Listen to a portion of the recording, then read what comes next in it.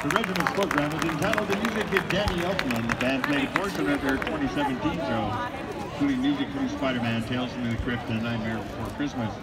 Drum major Andres Rodriguez, assistant Pickleberry, assistant drum major Dylan Perez. The Eagle Crest band would like to thank the EHS Baptist organization for their unending support of the band and the EHS administration for all they do for the program.